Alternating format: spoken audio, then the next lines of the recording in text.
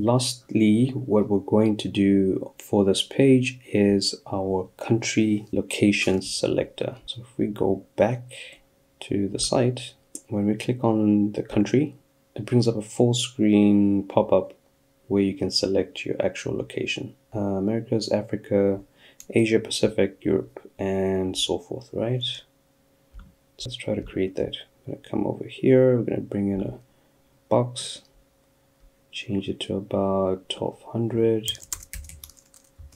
Okay, and make it a bit large. And let's see, what does it have? It has a close and it has a title. So let's bring in, let's bring in an H2.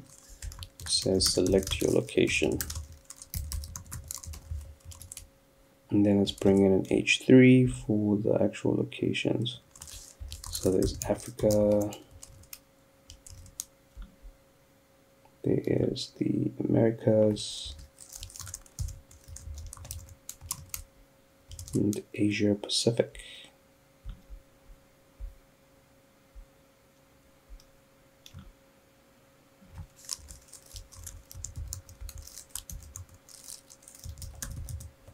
again, I'm going to mimic this uh, functionality by creating the most base, lowest level representation of that.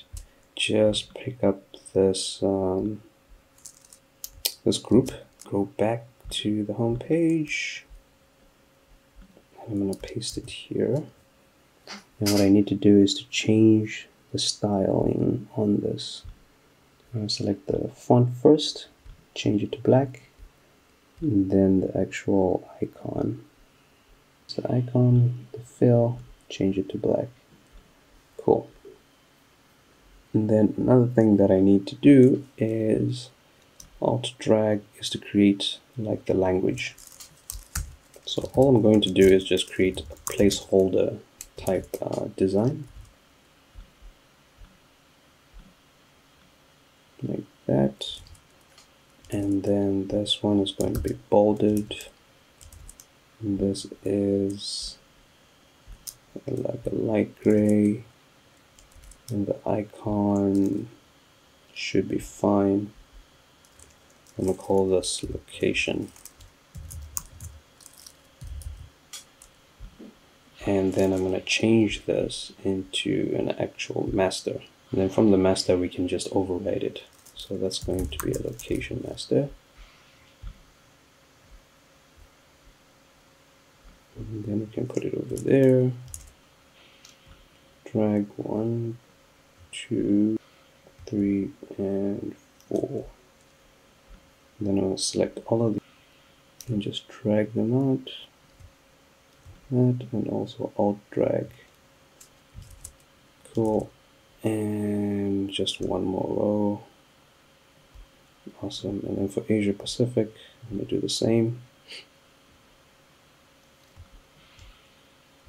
There we go. Cool. Then we need a close button. So I'm going to pick one from the lightbox. Just pick this guy. Command puppy, close. Go back to the home page. Scroll to the bottom. Over here and paste and that's going to be somewhere towards the top okay awesome and lastly I'm going to change this into a dynamic panel. But first let's just center this. There we go right over there. Okay. Right click uh, select everything change it into a dynamic panel. I'm also going to kill the background border so that when we treat it like a light box uh, the background is also going to be white so you can't quite tell where this boundary box actually is. Okay let's name this select location panel. And then command X. And then command X let's go into our footer then paste it in here. What's gonna happen is we're gonna bring it right about there. Uh, I'm gonna set that to hidden and we're gonna send it to the back. And then add the interaction onto the location and say when that gets clicked we want to show location panel.